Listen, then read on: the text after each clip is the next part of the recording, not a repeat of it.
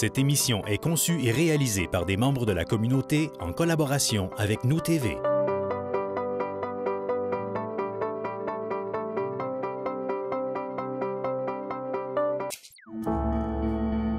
Cette émission vous est présentée en partenariat avec la Société d'histoire du Lac-Saint-Jean, dont les services mettent en valeur le patrimoine et le territoire dans une perspective d'apprentissage collectif. Bonne émission! Mémoire de lieu est rendu possible grâce à la participation financière de la résidence funéraire Lac-Saint-Jean, propriété exclusive des gens du milieu qui accompagne et soutient les familles des gens endeuillés depuis plus de trois décennies avec respect et compassion.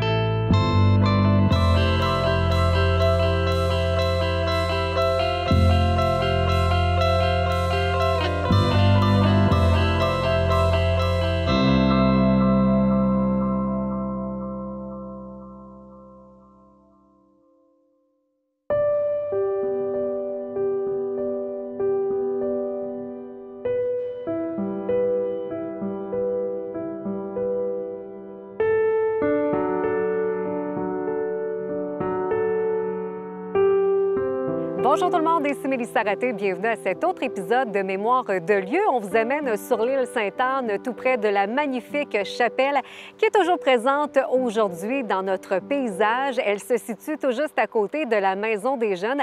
D'ailleurs, elle est accessible à pied ou à vélo en passant par la passerelle du boulevard des Cascades. La chapelle qui a gardé son cachet unique depuis sa construction en 1924. On vous raconte son histoire dans un instant. En compagnie de Jessica Lapointe, coordonnatrice aux expositions à la Société d'histoire du Lac-Saint-Jean. Jessica, merci beaucoup d'être avec nous. Comment vas-tu? Très bien, merci. On se retrouve sur l'île Sainte-Anne, magnifique paysage, l'île qui est traversée par la rivière Petite-Décharge. Décor splendide. On va parler un petit peu de son historique, évidemment, de sa situation euh, géographique. On le sait que l'île a accueilli de nombreuses personnes au fil du temps. Oui, l'île a été occupée il y a plus de 3500 ans par les membres des Premières Nations. Donc, ils venaient ici euh, en été, quittaient leur territoire de chasse un peu plus haut dans le nord du lac Saint-Jean pour venir ici pour la pêche, bien sûr, euh, avec la petite décharge qui est tout près, mais aussi pour se reposer, tout ça, pendant la saison estivale. Par la suite, bon, eh bien, c'est le lieu de fondation d'Alma. Donc, euh, c'est Damas Boulanger, le fondateur d'Alma, qui est venu ici pour construire la dalle sur la petite décharge. il est arrivé ici en 1863 et par la suite, il va s'établir officiellement en 1867. L'île Sainte-Anne aussi avait un beau quartier euh, d'ouvriers à cause de l'usine. Oui, exactement. Donc euh, ici, par la suite, quand les, gens ont commencé à vraiment construire des maisons, c'était pour les gens qui travaillaient à l'usine de pâte et papier, donc euh, à Riverbend. Et c'était vraiment les ouvriers qui vivaient ici. L'île a été acquise, elle est devenue la propriété de François Gagné. Qui était ce fameux François Gagné? Parce qu'on s'entend qu'il était propriétaire de beaucoup de choses. Oui, eh bien, François Gagné est venu euh, de Chicoutimi, donc il est originaire de Chicoutimi. Il est venu s'installer ici vers 1878. Puis, euh, c'est un commerçant, donc il va installer son commerce sur la rue Sacré-Cœur euh, au centre-ville d'Alma aujourd'hui. Euh, et ça va être aussi le, lieu, donc dans son commerce, il va avoir le premier bureau de poste et pendant 30 ans, il va être le maître de poste du secteur.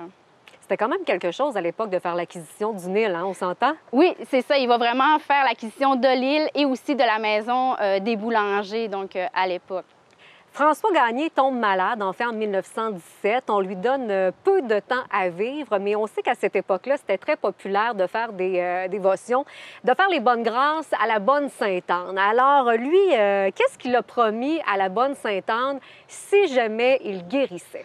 Donc, pour commencer, M. Gagné était atteint d'un cancer de la gorge et euh, les médecins lui donnaient très peu de chances de, survie. Et, il a fait une promesse que s'il avait la chance de guérir, il allait construire une chapelle, euh, une petite chapelle en l'honneur de, Sainte-Anne. Euh, donc, il a eu la chance et le miracle de guérir et il a fait construire cette chapelle. Euh, c'est considéré comme un ex-voto. Qu'est-ce que c'est exactement un ex-voto? Donc, un ex-voto, ça, a apparu là, vraiment euh, au début des peuples, du, les peuples du néolithique ou même les premières civilisations faisaient des ex-votos. C'est lorsque tu promets euh, à un être surnaturel de lui offrir quelque chose suite à, à, ce que tu reçois quelque chose. Là, par exemple, Monsieur Gagné, lui, a reçu sa santé, il a eu sa santé, Absolument. donc il a promis à la bonne Sainte-Anne de construire cette, cette chapelle, mais ça peut aussi être des sculptures, des peintures. Euh, parfois, on peut même retrouver encore aujourd'hui des ex-votos dans le journal. Donc, vers 1924, il a fait construire euh, euh, cette chapelle. on n'a pas le nom de l'architecte qui l'a construit, mais le bâtiment est quand même typique des bâtiments de l'époque, lorsque les gens faisaient construire des petites chapelles en, leur nom. Donc, euh, la, grosseur, tout ça est pratiquement similaire. La chapelle servait à qui précisément? Est-ce que c'était seulement pour la famille ou c'était monsieur, madame, tout le monde de la communauté qui pouvait y accéder? C'est euh, principalement pour la famille. Toutefois, on voit sur quelques photos, lorsqu'il y avait des grandes fêtes, euh, la famille gagnée devait recevoir les gens des alentours parce qu'on on retrouve beaucoup de personnes sur les photos. Fait que je crois qu'il y avait aussi, euh, il recevait là, pour euh, les fêtes, parce qu'il n'y avait pas de cérémonie religieuse. Il y avait l'autre église là, qui était vraiment située à Saint-Joseph-d'Allemand, que les gens pouvaient pour les différents services religieux. La, la, vraie de vraie, comme on peut dire. Exactement. Mais c'était quand même quelque chose là, à l'époque d'avoir sa propre chapelle pour la famille exclusive. Oui, exactement. C'est assez impressionnant. Voilà. Euh, François Gagné décède, lui, en 1936 à l'âge de 85 ans. Qu'est-ce qu'on fait par la suite avec la chapelle? C'est la succession? Oui, donc c'est sa fille, Rosalba Gagné, qui va vraiment s'occuper de la succession de la famille, qui va l'entretenir pendant quelques années aussi. Euh, Autrefois, la chapelle était située vraiment euh, plus haut sur l'île Sainte-Anne, donc euh, on va devoir la déplacer euh, parce qu'il y a un entrepreneur, Charles Maltais, qui va demander à la famille le droit d'exploiter une mine de granit dans le secteur. ils vont, ils vont l'autoriser, toutefois, il va y avoir des explosions qui vont être faites, donc on va déplacer la chapelle pour éviter qu'elle soit endommagée. On va la déplacer ici, donc tout près de son emplacement actuel, pour pouvoir justement la protéger. Euh, par la suite, dans les années 70, on va l'installer vraiment où ce qu'on la retrouve aujourd'hui. D'ailleurs, Charles Maltais qui fait partie aussi de l'une de nos autres émissions Mémoire de lieu avec euh, la quincaillerie euh, Charles Maltais. par la suite, il y a une entente qui a été conclue, si je ne me trompe pas. On a racheté les terrains et tout ça avoisinant. Oui, Aujourd'hui, la propriété vraiment de la chapelle, c'est la ville d'Alma. donc, la ville d'Alma va racheter à la famille Gagné pardon, les terres euh, ce qui a été euh, entendu, c'est que oui, on, ils vendaient euh, à très modique somme le, terrain, mais la ville devait aménager un parc donc pour la population. Et euh, c'est ce qu'on retrouve aujourd'hui encore, donc ce merveilleux parc de l'île Sainte-Anne. Voilà, il y a un terrain de tennis, il y a un skate-park, il y a la maison des jeunes, il y a même un terrain de soccer. et voilà, là, vraiment réservé pour la petite famille, comme on dit. Exactement. La piste cyclable aussi qui passe tout près, là, puis la petite décharge qui est, merveilleuse. Donc, tu l'as mentionné, maintenant, la chapelle est euh, acquise par la ville d'Alma. En 1976, la ville qui reçoit une subvention du gouvernement du Québec. On voulait faire un projet de revitalisation. Euh, un autre gros projet, c'est là, qu'on déplace encore la chapelle pour une deuxième fois. Oui, c'est ça. On va l'installer à son nouvel emplacement, ce qui va permettre aussi d'installer le, terrain de tennis et tout ça. On va aussi euh, aménager un petit peu l'île Sainte-Anne parce que le programme en question permettait de revitaliser l'endroit. Par la suite, aussi dans les années 2000, on va restaurer la, petite chapelle, mais parce qu'il y avait eu quand même certaines modifications et aussi le temps qui avait fait son, travail. Mais en elle-même, là, on a quand même gardé une belle... On a fait une belle restauration de la, de petite chapelle. Bien, c'était quand même assez important. C'était 40 000 qui ont été investis, mais euh, j'imagine que c'était euh, très important de respecter les règles de l'art pour euh, garder son cachet unique de 1924, parce que si on la regarde aujourd'hui, on se demande un peu qu'est-ce qui a été modifié ou pas. Hein? Bien, c'est ça, c'est quand même, quand même impressionnant, là, parce que au niveau, là, ce qu'on peut revoir, retrouver dans les archives, par exemple, pour ce qui est du bardeau de bois, ça a, été remplacé, mais par un bardeau pratiquement identique. Même chose, le recouvrement, c'est euh, un bois, donc on l'a remis comme, euh, comme il était autrefois. Ce qu'on peut constater, les différences sur les photos, c'est par exemple l'escalier. Parce que sur les photos d'origine, euh, l'escalier est fait, l'entrée est fait vraiment de granit. Donc, celle-ci, on la voit, elle a disparu avec le temps lorsqu'il y a eu le deuxième déplacement. Est-ce que c'est parce qu'on voulait faire revenir en granit? On ne le sait pas exactement. Mais maintenant, là, c'est vraiment une galerie de bois qu'on retrouve. Ce qui a été aussi modifié à travers le temps, c'est l'oculus au-dessus de la porte. Donc, au début, il était rond. Quand il y a eu euh, le deuxième déplacement, on peut voir sur les photos, je crois qu'il est carré ou rectangulaire et euh, la ville l'a restauré de manière euh, ronde aussi. Par rapport à la porte, la porte est beaucoup plus petite qu'elle était sur les photos d'origine. C'est ce qu'on peut constater en les regardant. Donc, c'est quand même des belles rénovations qui ont été effectuées. Parlons de l'architecture, l'esprit type des chapelles de l'époque. Oui, donc c'est vraiment là, typiquement les constructions que les habitants faisaient par exemple pour Dieu. Euh, c'est un petit bâtiment d'un étage et demi environ, avec le toit à deux versants. Euh, même chose, un petit clocher, donc c'est vraiment typique. au niveau des fenêtres, on retrouve aussi quatre fenêtres dans les côtés, bien, deux de chaque. Puis euh, sont à quatre carreaux aussi, donc des petites fenêtres recouvertes d'auvent aussi là, pour être protégées.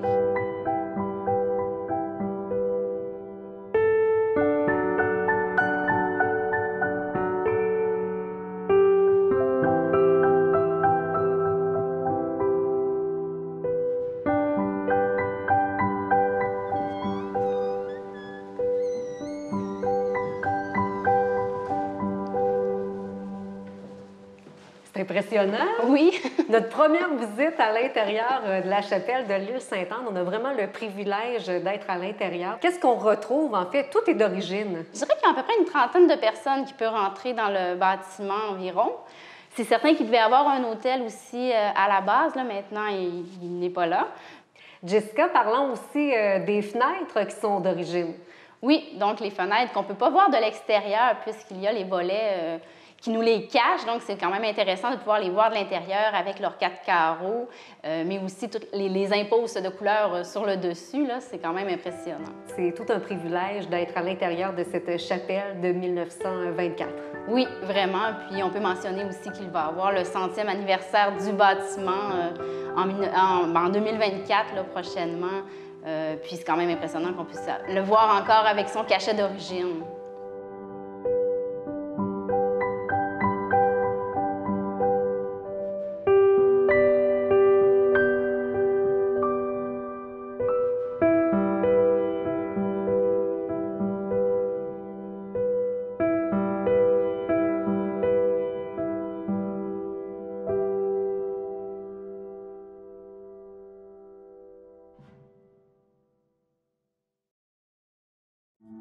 L'expertise et le leadership de la Société d'histoire du Lac-Saint-Jean permettent à la collectivité de bâtir son avenir en intégrant son patrimoine et sa culture. La Société d'histoire du Lac-Saint-Jean est fière de vous avoir présenté l'émission Mémoire de lieu. La résidence funéraire Lac-Saint-Jean, propriété exclusive des gens du milieu, qui accompagne et soutient les familles des gens endeuillés depuis plus de trois décennies, avec respect et compassion, est fière de vous avoir présenté Mémoire de lieu. Nous TV, fiers de faire rayonner notre communauté.